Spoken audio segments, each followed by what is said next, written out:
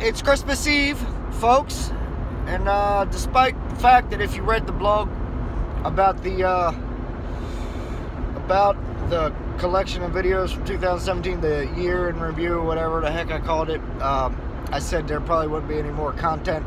Um, this is some content, so uh, yeah, whatever. Um, it's Christmas Eve and I'm out. I had to run to a Target, like way off in the distance, to hunt down some Stranger Things merchandise. Because my kids, Patch and Bibbit, are currently obsessed with the show Stranger Things on Netflix. I don't know if you've seen that, but you should check it out because it's really cool. It's really cool. Uh, but anyway, it's uh,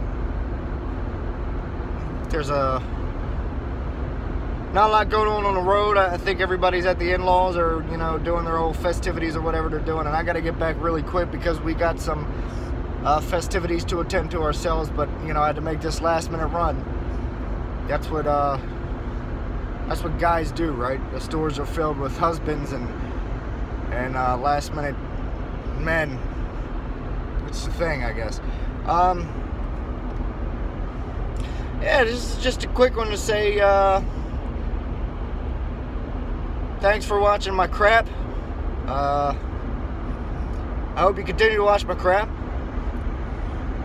Um, hope to have some more in 2018, and I hope 2018 is a better year. And uh, Merry Christmas, everybody.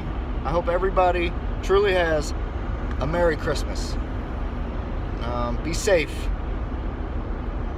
Be safe out there. Don't don't record yourself driving down a, uh, an interstate or anything like that this holiday season because it it can be very dangerous.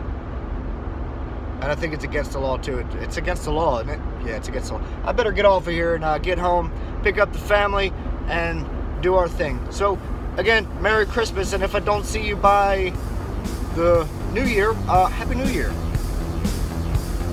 Have a good one, folks.